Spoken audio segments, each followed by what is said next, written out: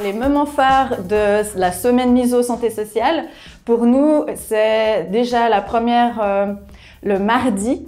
Où on a fait une journée complète avec 21 événements où on a invité un, voilà, je pense 10 ou 11 partenaires euh, qui nous ont répondu présents. Le deuxième événement euh, que pour nous qui était vraiment le moment phare, c'était la possibilité le jeudi matin de pouvoir organiser un, événement en présentiel.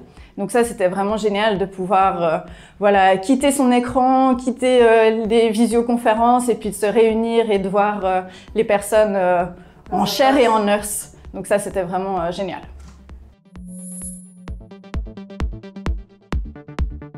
Alors le point fort euh, de cette semaine, donc euh, au-delà de, la thématique et au-delà du fait d'avoir rassemblé euh, donc les, intervenants et les participants autour de cette semaine, ça a été vraiment la, mise en place et la gestion dans l'organisation de la semaine et tout particulièrement la collaboration avec Gigi et Cécile qui a juste été top. Donc merci les filles et à refaire.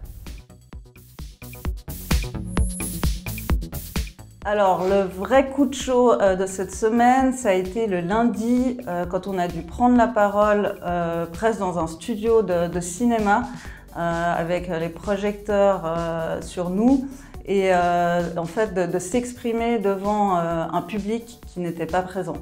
Donc ça, c'était, on va dire, assez original.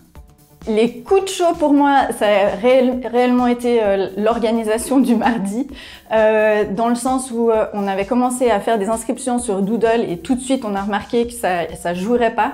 Donc on a dû, en l'espace d'une journée, retrouver un autre moyen de, mettre à disposition un autre mode d'inscription. Et puis, d'autre part, pour cette même journée, on avait quelques inscriptions, mais pas beaucoup à notre sens, du fait qu'il y avait 21 événements.